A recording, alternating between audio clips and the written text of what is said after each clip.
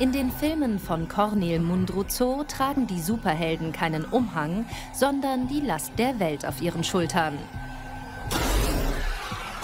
Dadurch weckt der ungarische Regisseur unseren Glauben an Wunder. In Jupiter's Moon, der in Deutschland im April 2018 anläuft, kann ein syrischer Flüchtling plötzlich in der Luft schweben, nachdem er beim Versuch, die Grenze zu überqueren, niedergeschossen wird.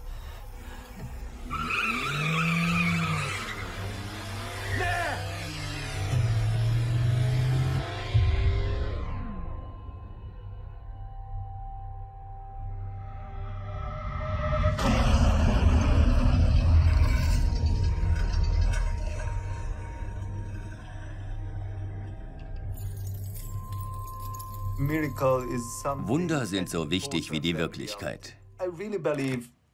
Der Ort, an dem wir leben, ist nur ein Teil der Realität. Es gibt immer noch ganz viele andere Tore.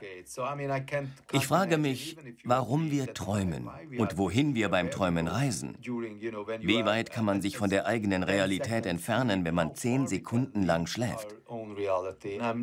Ich bin kein religiöser Mensch, aber ich glaube, dass wir nicht allein sind und nicht nur in dieser Wirklichkeit hier existieren.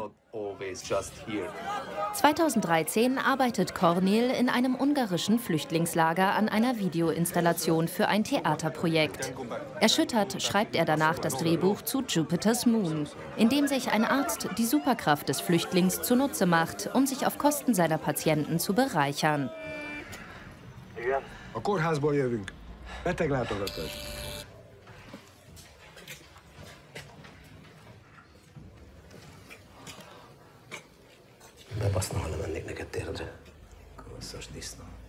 He just said that you are a dirty pig.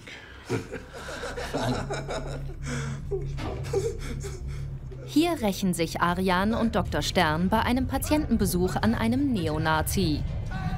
Für den Dreh dieser Plansequenz schöpft der Regisseur aus seiner Theatererfahrung.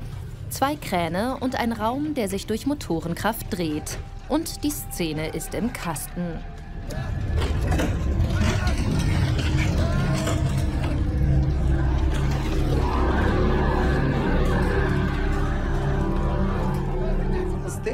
Was das Publikum im Theater annimmt und sich wünscht, ist viel radikaler und krasser als das, was es von Filmen erwartet. Die heutigen Filme sind konservativ. Ungarn hat seine eigene filmische Sprache, von Miklos Joncho bis Belo Tor. Es geht darum, einfach da zu sein. Die Bewegungen sind vielleicht ausdrucksstark, aber es gibt keine Schnitte, nur das rein organische Leben. Von Schöne Tage, in dem eine Frau ihr Baby verkauft, bis hin zu Delta, in dem Inzest in Frage gestellt wird. Cornel wagt sich an Tabuthemen. Im Jahr 2000 veröffentlicht der Absolvent der Budapester Universität für Theater und Filmkunst seinen ersten Spielfilm. Und oft übernimmt Cornel selbst eine Rolle, wie hier 2010 in Tender Sun, das Frankenstein-Projekt, in dem er einen Regisseur mimt. 1975 im kommunistischen Ungarn geboren, wächst Cornel bei seinem Großvater, einem Pfarrer, auf. Ich erinnere mich an die endlosen Messen, bei denen wir ewig in der Kirche ausharrten. Meistens war sie völlig leer, weil nur sehr alte Menschen in die Kirche gingen. Für mich war das eine traumatische Erfahrung, zu sehen, dass wir unseren Glauben verloren haben und gar keine Verbindung mehr zu Gott besteht. Diese Orte haben keinen Sinn mehr. Was ist denn ihr Zweck? Aber die Bilder, die Ikonen und die Geschichten haben mich nie losgelassen. Mit Johanna interpretiert Cornel die Passion der Jeanne d'Arc. Als wieder ins Leben zurückgeholte Drogenabhängige heilt sie ihre Patienten, indem sie mit ihnen schläft.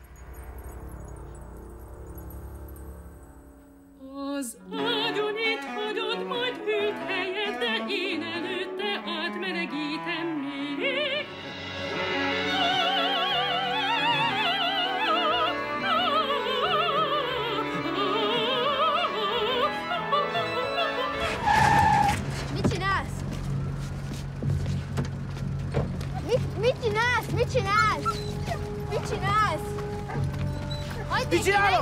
Ne găsești te apartan? Da vidimo me hejre! Ne, ne, ne vidimo me Ako me jesi isao?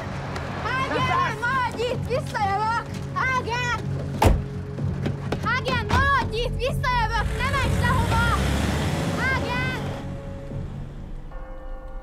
Der 2014 erschienene Film Weißer Gott oder Underdog handelt von einem Rudel streunender Hunde, das gegenüber den Menschen die Reißzähne zum Einsatz bringt. Für diesen Film lässt Cornel Mundruzo 274 Fellnasen aus ungarischen Tierheimen abrichten. Nach dem Dreh kommen sie alle zusammen in einem Tierheim unter.